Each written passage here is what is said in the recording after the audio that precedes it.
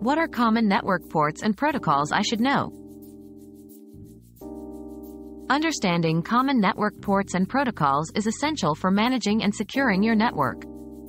Key ports include HTTP 80, HTTPS 443, and FTP 21, among others.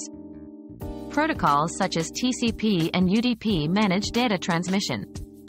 Knowledge of these elements ensures effective network communication and enhances cybersecurity efforts.